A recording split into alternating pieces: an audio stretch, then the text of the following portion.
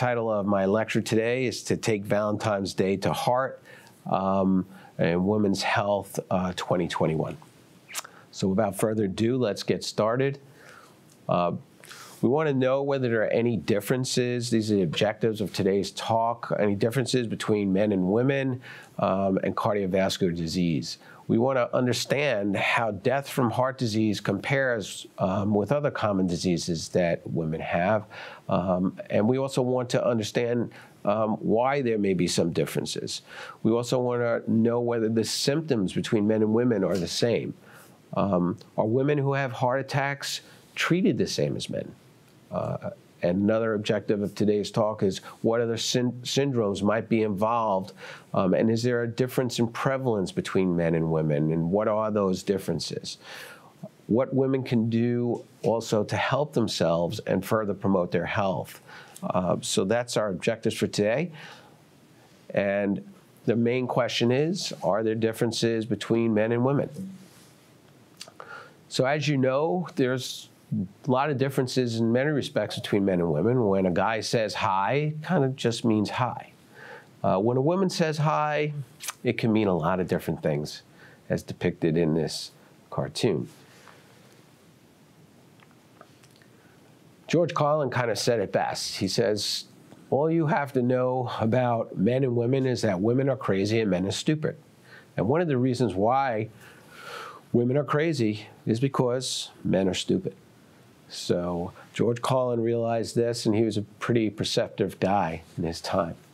But on a serious note, um, we want to kind of understand cardiovascular mortality um, and what the trends are um, and gender differences between men and women in the United States. And you can see from this slide um, that in the 1980s, um, there was pretty high mortality from in both men and women for cardiovascular disease. And that's the time when we started to put together our treatments, effective treatments for heart disease. Before this, we didn't have statins. We didn't know about uh, stenting and balloon angioplasty and heart open heart surgeries were just coming around as help for uh, people with heart disease. And you can see when that got introduced, that mortality for men did pretty good. It started dropping um, as depicted in the blue line on this slide. Um, but you see, the red line kind of didn't move, kind of stayed the same. And um, in the late uh, 1990s, early 2000s, there was a pivotal study for women. Before that, the Women's Health Initiative, there was really not any um, studies that really kind of used women as the subjects primarily. And that was an interesting study because it was a study about hormone therapy back in and, and those of us who are old enough to remember back in the 18 you know 1985 1990s in that area women's hormone therapy was a big thing. There were books there were new york times front page articles many many uh, periodicals that um, had uh, women taking hormones replacement therapy after menopause. It was so-called fountain of youth. And until the women's health initiative study was published, which actually studied the role of hormones and their effect on postmenopausal women, it was thought that it was very beneficial. And lo and behold, you know, when you do studies, you find out things sometimes that you don't want to find out. And one of the things they did find out is that hormone therapy was not great for women's cardiovascular health. There was increased clotting, hypertension, pulmonary embolism. These were all serious health problems that were um, worse in the hormone treated group. So then it started to dawn on people that, well, if what we think is right is not really right, that's where science comes in. And that's when we started to promote thinking about women and we started looking at these data points. And this is public data, but it really wasn't looked at. It was there, but nobody really looked at it. So you could see that black line on the slide when, when this revelation happened that maybe we should look at women as women, not as men. And you could see the mortality had dropped dramatically to where in 2010 and 2011, the lines actually crossed, where women actually did better than men. Now, the disturbing thing is that's to 2014, but if you pull these curves out further, you start to see that both men and women are increasing uh, mortality in cardiovascular disease, which is a disturbing trend. And that is maybe because of the obesity epidemic. So this is being looked at, and studies are being done right now to try and dissect out what's happening because this may be the first generation after ours that will actually experience a life expectancy decline. That hasn't happened for years in the United States. And last year, the year before COVID, and I'm not including COVID 19, uh, the pandemic, last the year before that, we actually did see a decline in average life expectancy in the United States. So, an important thing to keep mind of. Now, this is a slide of women's uh, heart disease death rates, um, age 35 plus by county. And you can see in the United States, now some of this is population based, so there's less people, there may not be as much heart disease, maybe they eat more.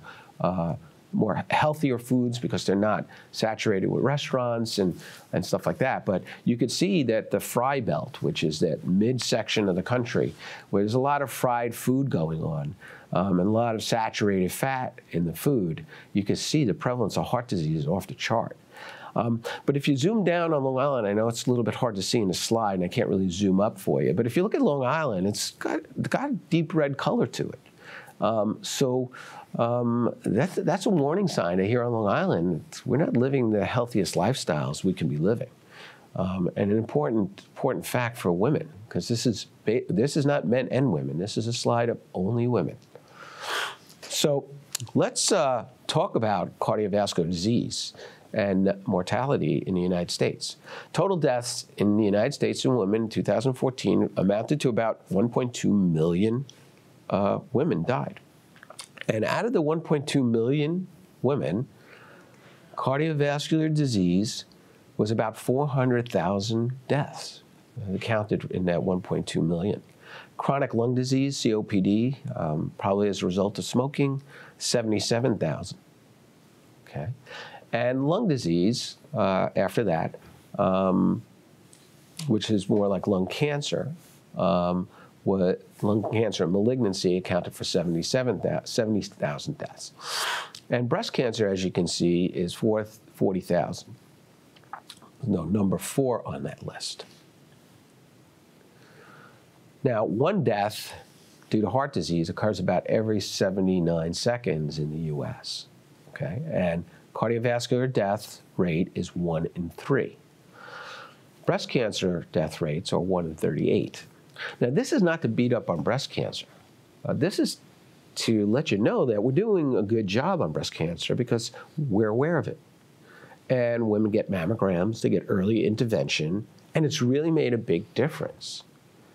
But it does show you also that you're far more likely to die of a cardiovascular event than breast cancer in the US right now, which is something that patients really have to be aware of. And I don't think most women are. This is the uh, an interesting slide, and it's the remaining lifetime risk for CVD versus breast cancer in women at age 40. So when you hit 40, we measured how many people are going to die of these different diseases. And if you took any cardiovascular disease, which includes coronary heart disease, which is heart attack, you take congestive heart failure, and you take stroke, which is brain injury, and you put them all together, it's a one in three chance of dying from any cardiovascular disease for a woman at age 40 whereas breast cancer is 1 in 38. So it's just another way of looking at that data, but again, very interesting. Now, we're going to talk about this because up until recently, we've had this bikini approach to women's health. The medical community has viewed women's health in a reproductive manner. We look at breasts and ovaries and pap smears um, as the whole total focus of women's health. And that was really put to the forefront by one of uh, uh, uh, physicians, a female physician, Dr. Wenger at Emory University.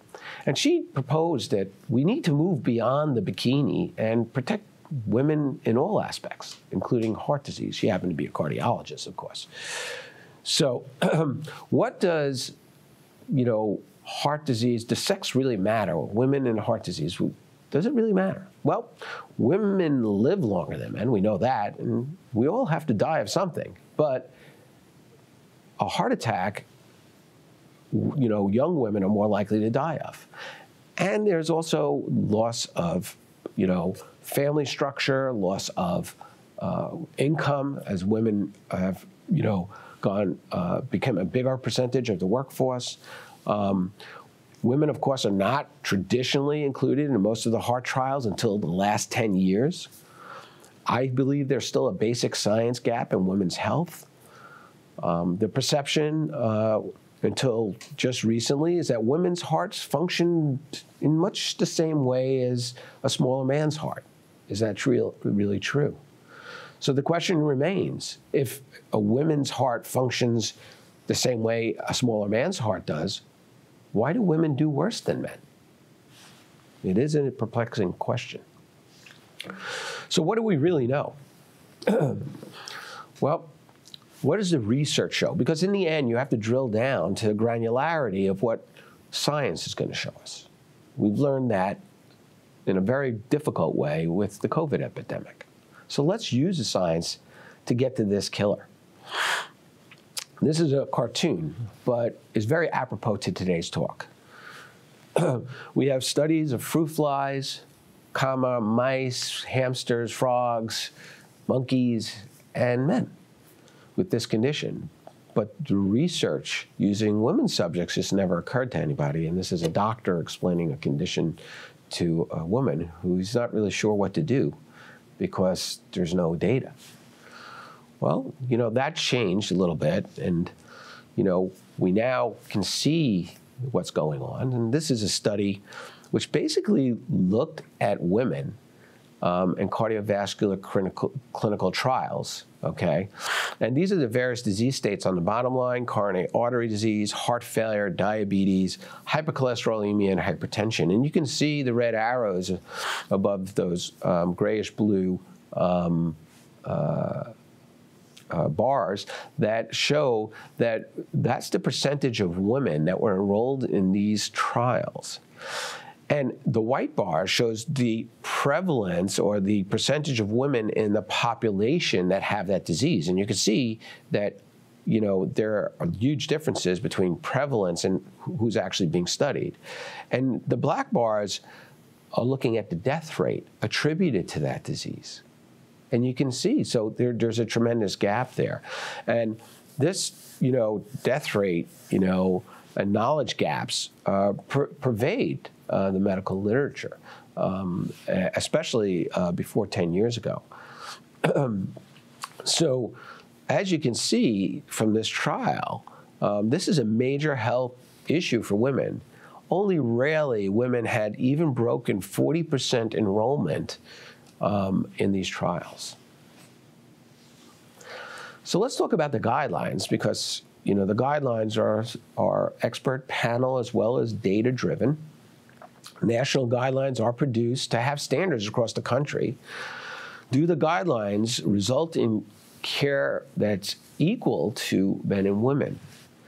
Hospital data on compliance with guidelines and outcomes is all there. Um, this is called, this database is called Get With the Guidelines database. So let's look at the Get With the Guidelines database. And just to give you a format on, you know, I know most of you are not scientists or doctors out there, but you can read this uh, if I give you just a simple explanation. Uh, the treatment, okay, on the left hand side of the slide shows the kinds of treatments that are available for heart disease. The middle, where it says adjusted women versus men, is basically telling us whether a person has the same treatment, which that number that's uh, sitting there would be a one if they had equal treatment. Um, if it's below one, they did not get equal treatment, and if it was above one, they got better treatment. So you could see um, um, in the box here for early medical therapy for people having a heart attack, and this is women, that the number was 0.86 and 0.90 for aspirin and beta blocker, which women then received less early life saving treatment than their cohort age matched men. Okay? Secondly, patients, or women patients, received less cardiac catheterization, less angioplasty or stent placement, less open heart surgery, and less revascularization by any form. You can see the numbers there, all less than one, which means they received less.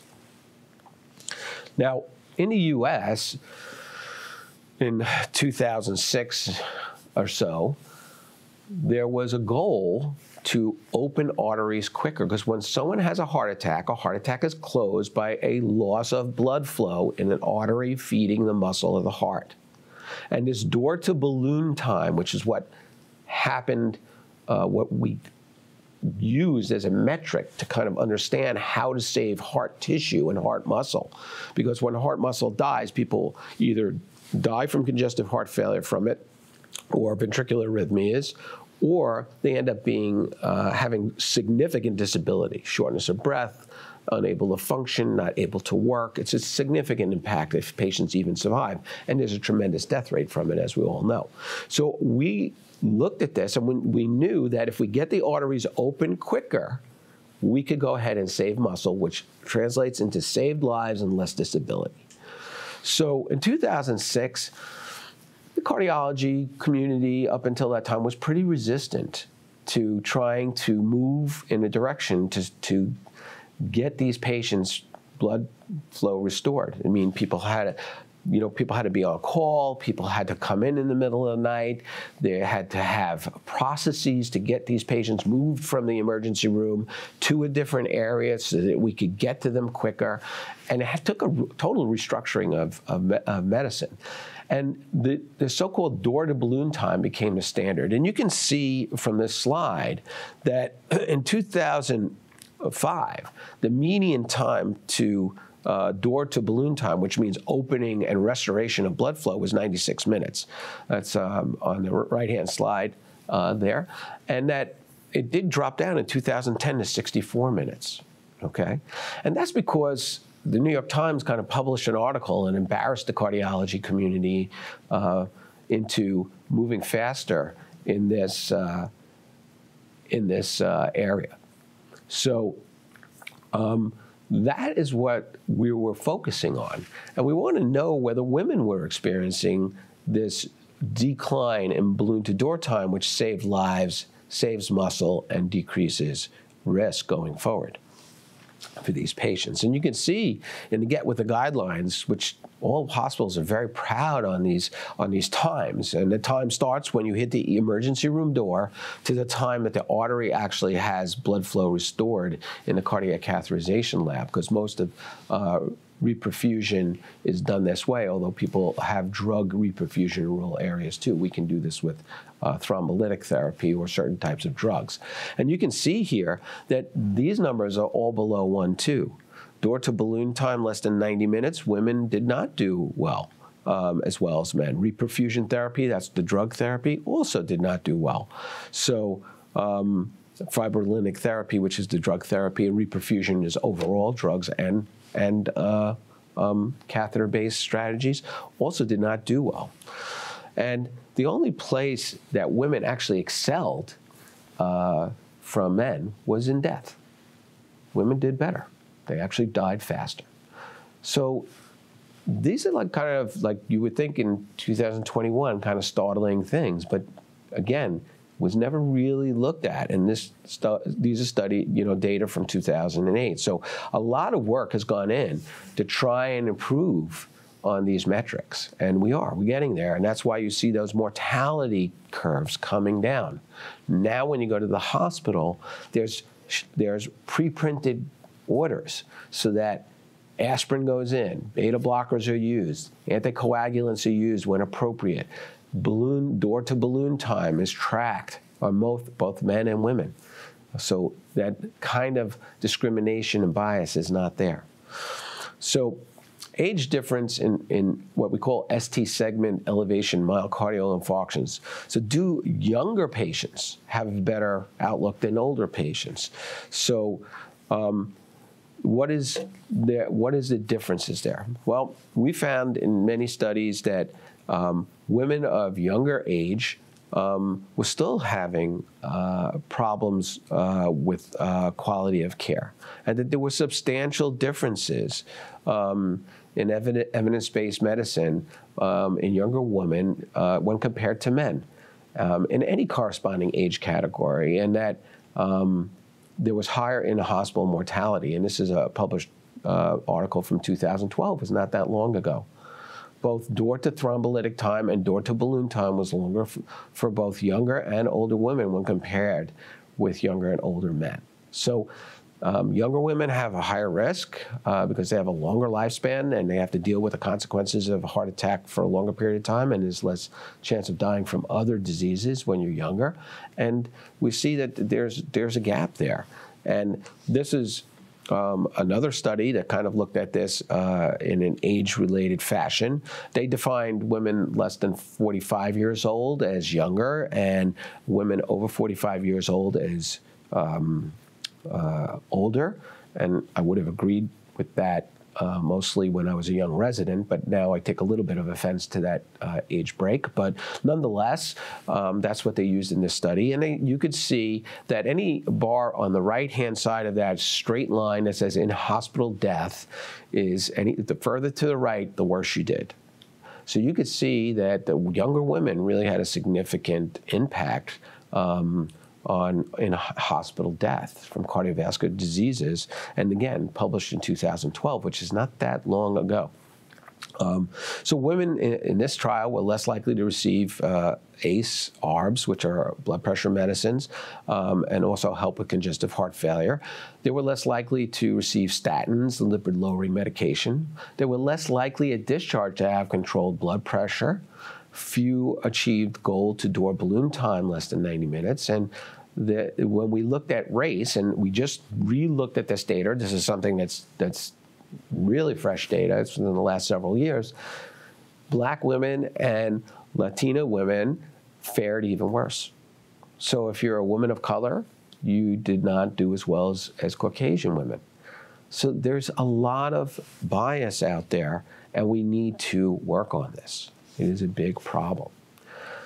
This is also another study. It was uh, published in 2015, again, not that long ago. Temporal trends in sex differences in revascularization and outcomes in myocardial infarction, ST segment myocardial infarction in, in the United States. That's a certain type of heart attack, and usually a pretty aggressive one. The ST segment uh, elevation MI is considered a very serious medical emergency uh, for us.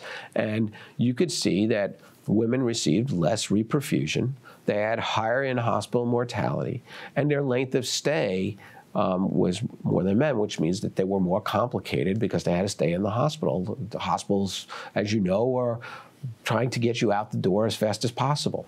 So the, the length of stay is up. That's telling you something, and it's telling you that there's a significant impact, both economically and on women's overall health. Now, there was a trial um, done called the Virgo trial. This is in 2015. And they looked at door to balloon time in young women because they were trying to find out what was going on. And you can see that uh, women, on average, compared to men, the men in blue bars and women in the red bars, took an average of eight minutes longer. Okay?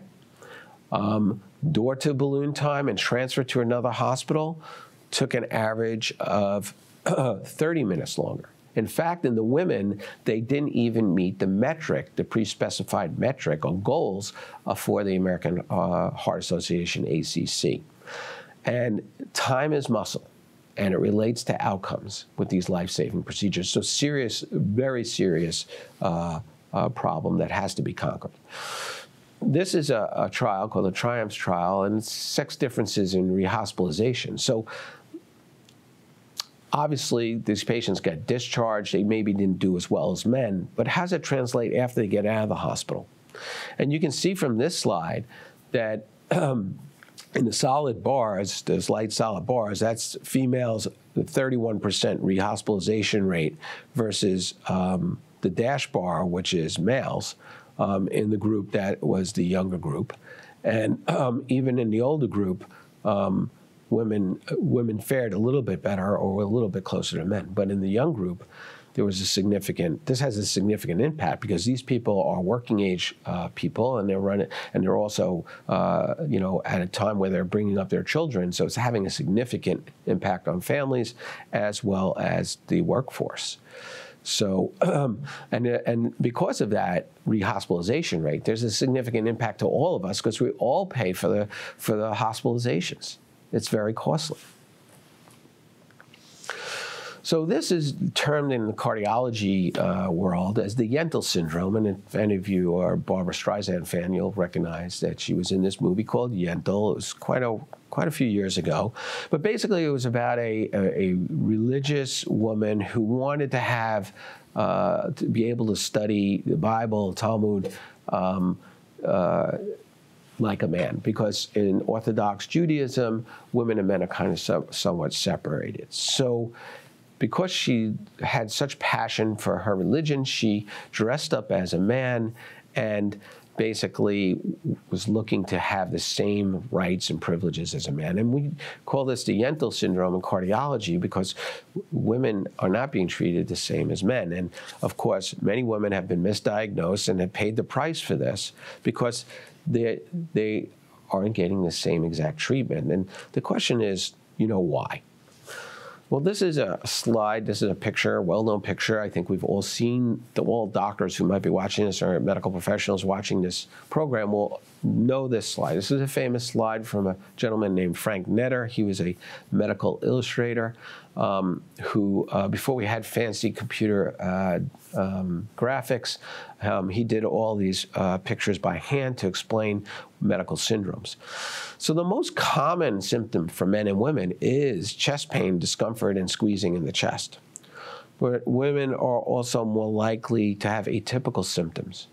So here we're teaching our young medical students, women doctors, men doctors, that it's going to be a man. It's going to be in the cold weather. That's what this this picture is showing. There's a stiff wind blowing. He's grabbing his chest, what we call a Levine sign, which we're all taught in medical school. And if you look carefully, you can even see a cigarette in the snow because he dropped his cigarette from that chest pain. He just had a heavy meal in a restaurant. So it kind of tells you the clinical situation. And this was all this is what's going to happen, and it's always a man in the picture, not a woman. And it doesn't talk about women and the atypical symptoms. One third of women have upper body pain, they have shoulder and neck and jaw pain, they have abdominal or epigastric burning. Sometimes they have nausea. Sometimes it's just short of breath. We know that extreme fatigue can be a cardiac symptom, lightheadedness and dizziness and palpitations. So it's not always what's depicted in this picture. Um, there's more to it. And we're trying to train our young women and men physicians to be aware of this, to be more sensitive to it. Because if you don't, if you're not sensitive to it, you'll never find it. If you don't take a temperature, you'll never find a fever.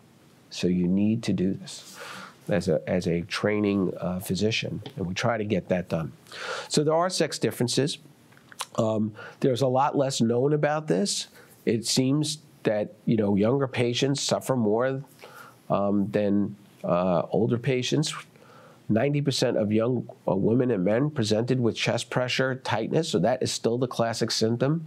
But women are more likely to present with three additional non chest pain symptoms versus men. Among patients who sought care for symptoms before the hospitalization, women are less likely to be told that their symptoms were heart related.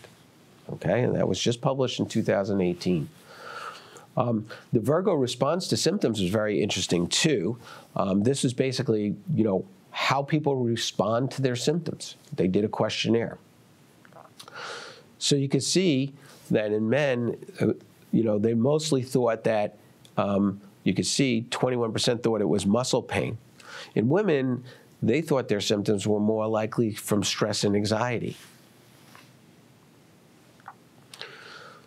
Women also um, when they were thinking about what this could be, very often they didn't think it was a heart problem. They thought it was due to something else.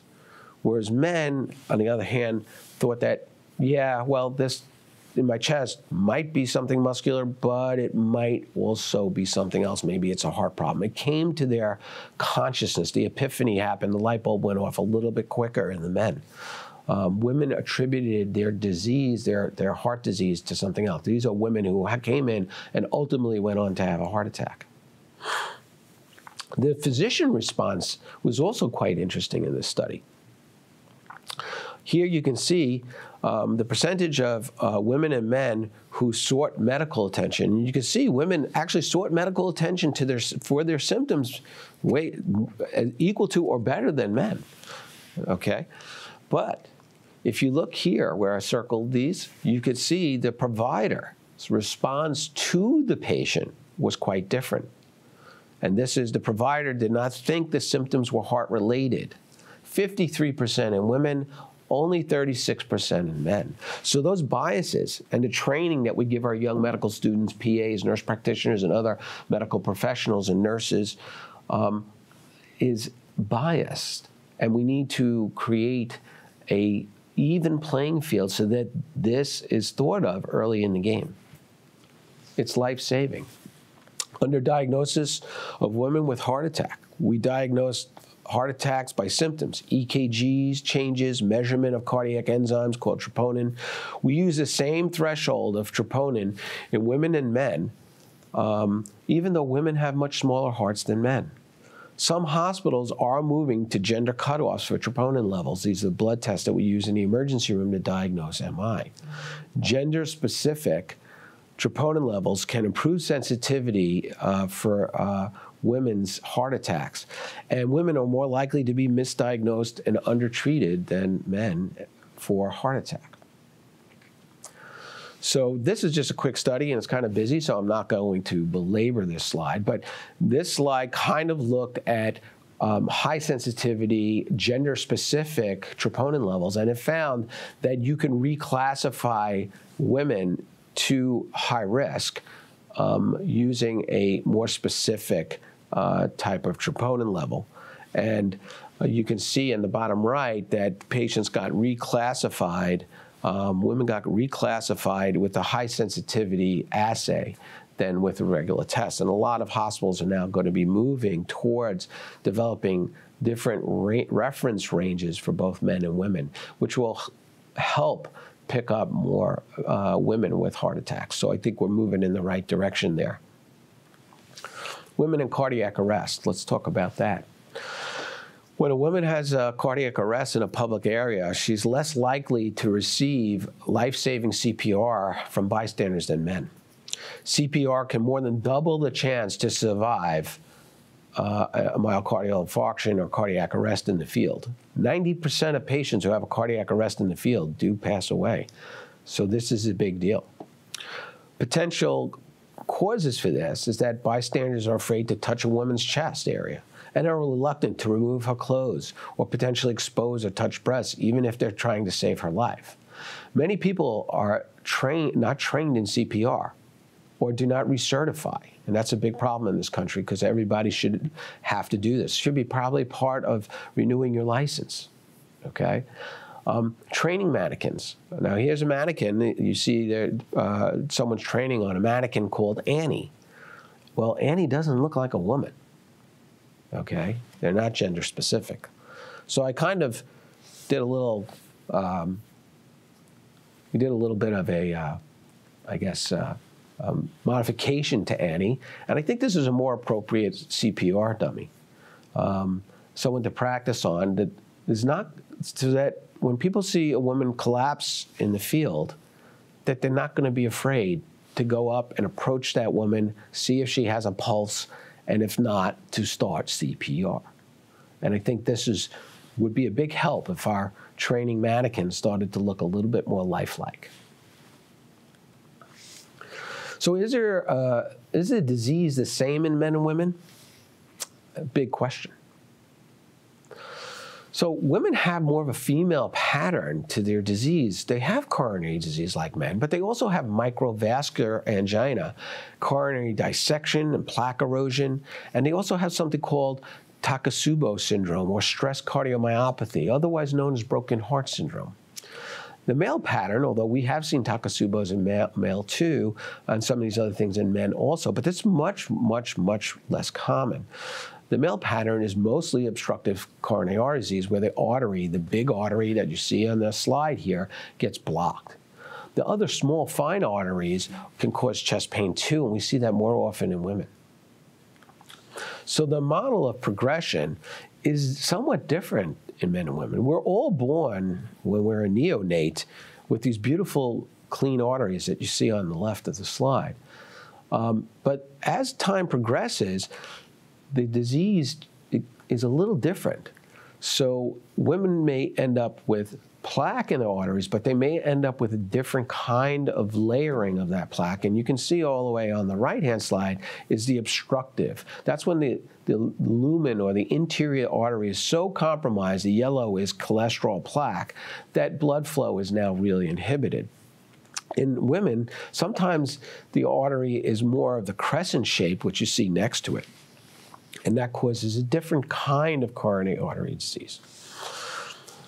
Microvascular dysfunction is what we call small vessel disease. And I have uh, quite a few patients in my practice that have angina, and it seems just like a major blockage. And then when we do a catheterization, it's not there. We've eliminated every single other cause, and they have classic signs of heart disease, heart angina, or chest pain with exertion, yet they don't have any epicardial or large artery blockage. And this is from vascular dysfunction. Okay, and this may also have something to do with women who have hormonal problems like PCOS and uh, low estrogen levels. Uh, we see it a lot after menopause also. Well, um, these also go hand in hand with the pro atherosclerotic diseases such as hyperlipidemia, hypertension, smoking. So all that adds into it. But it causes vascular hyperreactivity, and you see the middle artery there where the arteries are contracting um, or getting the, the, narrowing of the artery on top of some plaque, but it, it's causing the spasm is causing um, less blood flow. So that's vascular dysfunction. And there's an angiographic picture of what that looks like right below. So in women, we see a lot of plaque erosion. Um, and this can be seen on something called IVUS or intravascular ultrasound. We can actually thread a ultrasound camera down the arteries and see what's going on, uh, on in the arteries. And it's done at Northwell uh, quite frequently to help us decide whether someone needs stenting or not. We just don't throw it in by eye many times. We actually look um, look into the artery of intravascular ultrasound or perform something called FFR, which is a flow uh, measurement of how much blood flow is actually going down that artery. Um, but in women, you can see that the plaque sometimes erodes and slowly a thrombus forms on that plaque. That's that purplish thing that's called TH in the slide. And that is a thrombus forming on top of a cholesterol plaque um, and slowly um, occluding the artery. So this is just uh, showing you the differences between plaque rupture, which is what happens frequently in men, where there's just a tear in the artery and a sudden clotting of that artery, versus plaque erosion, which slowly occludes the artery to the point that it becomes a major emergency. So it's somewhat different pathophysiology. Women also have dissections of the artery where the artery actually tears on the inside. And we see this commonly in pregnancies for some reason because there's elastase um, uh, high elastase enzymes in women who are pregnant to help loosen up that pelvis, to help that pelvis flex to deliver that baby. There's also loosening of the joints, and also the elastase uh, makes the blood vessels a little bit weaker. And we see dissections in uh, pregnant women, and it's one of the ways uh, pregnant women have heart attacks. Um, so this false lumen that you see where the arrow is, blood gets accumulates in there, and even though there's no cholesterol plaque, there's actually a blood clot in that artery, in that false lumen that's pinching off blood flow. You can see this in this angiographic picture Um, it's not the best picture in the world, but it is something that is reported um, in many, many women. It's associated with other diseases such as fibromuscular dysplasia, lupus, the other connective tissue disorders such as rheumatoid arthritis, and is associated with pregnancy, as I stated earlier. So, um, spontaneous coronary dissection accounts for 11% of all acute uh, STEMI MIs, those, those bad MIs, the ST segment elevation MIs. It accounts for 9% of all females under the age of 50 with ACS.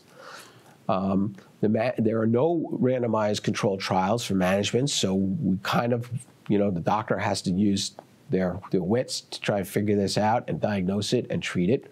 Um, stenting is probably tried in these patients. Um, the mortality is 1% to 5%. And if it happens in the peripartum period after you deliver a baby, because this, um, we call this the fourth trimester, is the, the, the, the, time period after delivery, the first three months, is a vulnerable period for women. Um, so it can happen even postpartum. Um, let's talk about the other thing that I mentioned, Takotsubo's cardiomyopathy, um, or stress-related cardiomyopathy, or broken heart syndrome. Um, hopefully, there's no broken hearts on Valentine's Day this year, but this is um, stress-related cardiomyopathy. It's a transient vascular dysfunction, not caused by an acute, uh, acute clot. It's triggered by emotional stress many times with sudden, reversible dysfunction of the pumping action of the heart. It accounts for 3% of all acute coronary syndromes that looks like an MI. I had women walk into my office with this and we call it, we see it's an acute MI. We're trying to get them to the hospital for that door to balloon time to make sure that we save muscle. And then we do the angiogram and we do not see a blockage, but yet they're having all the classic features of an acute coronary syndrome. It's 6% of all acute coronary syndromes or um, ST segment elevation um, in postmenopausal women. And the heart failure, luckily, it's reversible and resolves within weeks to months. This is what it looks like angiographically. The word takotsubo means Japanese octopus pot. It was originally described in the Japanese medical literature. And it's a weakening of the heart muscle. And you can see the angiographic picture on the left looks very much like an octopus pot, which is on the right. This is a busy slide, but basically this shows the pathophysiology of what we think is going on. Um, it's still a matter of uh, some controversy, but that extra stress releases a lot of adrenaline, which has an effect on the microvascular structure of some vulnerable women's hearts. And um, that causes this acute syndrome. The newly described disease, it was described in Japan of 1990, and now has been basically seen all over the world, recognized all over the world. Um, and it was formally classified as a, as a primary acquired cardiomyopathy, which means an acquired weakness of the heart. Um, you can see the number of cases after it was formally described went way up. And again, it's termed broken heart syndrome or stress induced um, cardiomyopathy.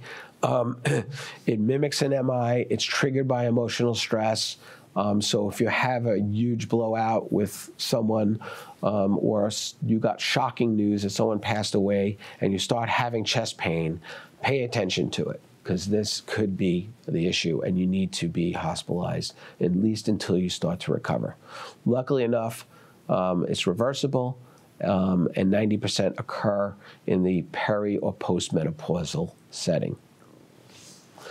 Um, so there are diverse triggers. Uh, you know, we're not going to go through this, but grief, loss, desperation, bereavement, death of a spouse or a loved one um, can be triggers, but we've seen it for other reasons also. Um, so if you're having chest pain, you need to seek medical attention. Um, and again, 90% of women are over the age of 50. 50. Um, you have to have a high level of suspicion. And a hallmark, luckily enough, is complete recovery, with only about 10% of people recurring, having a recurrent attack at four years. So it can reoccur, but it's luckily enough not that common. so let's talk about research, because ultimately the research is where things change. Science moves the dial on these things. And you can see here the scales have to be tipped in favor of women. And that more than two decades ago, the National Health Institute instituted a women's health division. And the NIH scientists and leaders agreed that excluding women from clinical trials was bad for women and bad for science. In 1993, the NIH um, Revitalization Act required the inclusion of women in NIH funded clinical trials. So finally, your tax dollars were working for you. Women are not just small men. So, does cardiovascular risk factors affect women in the same way as men? So, let's take a look at that. The prevalence of risk factors are different in men and women. Okay, and you can see here from the slide that um, smoking uh, actually less in men and more in women uh, these days. Diabetes and metabolic syndrome are also more in women. Um, so there are certain things. Depression are more, believe it or not, is more in men. We're not really sure in women whether there's more or less. I guess COVID has kind of affected that a little bit.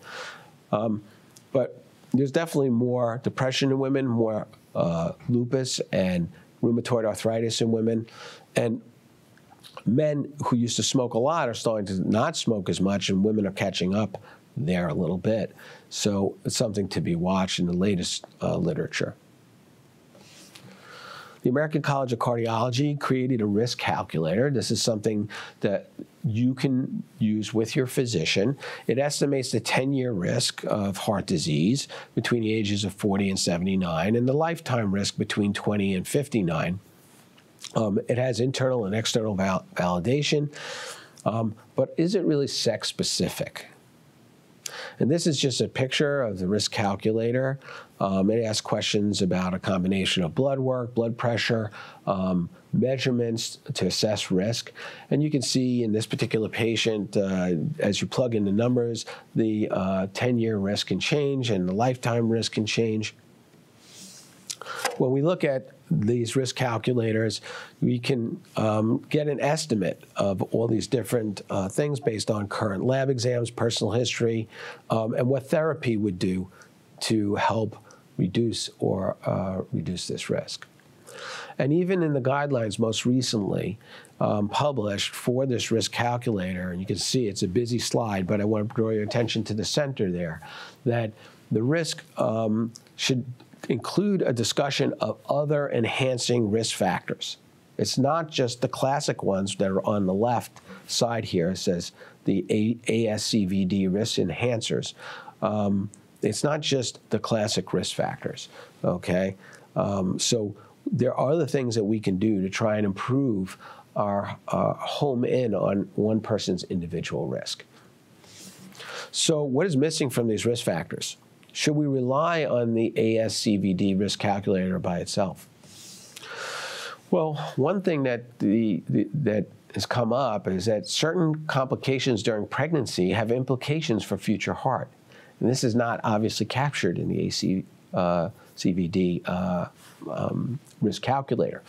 Pregnancy can be nature's um, stress test, and the ACC has come up with this little poster to kind of summarize what those uh, uh, risk factors are. And you can see high blood pressure or preeclampsia, gestational diabetes, preterm birth. Um, and these are things that you can do because your primary care physician or your cardiologist needs to know that you did have gestational diabetes or you did have preeclampsia or high blood pressure during pregnancy because it definitely is uh, impacting. Pregnancy uh, complications, um, uh, is it like a stress test, and it identifies women who would benefit from primary prevention e- efforts to reduce ACVD even at a young age. And don't forget, younger women with heart disease do worse, much worse than the cohorts who are postmenopausal. So we call this adverse pregnancy outcomes or APOs. Um, again, just showing you preterm uh, uh, delivery, gestational diabetes, um, hypertension, preeclampsia um, and a couple of others, more than 80% of women will bear at least one child in their lifetime.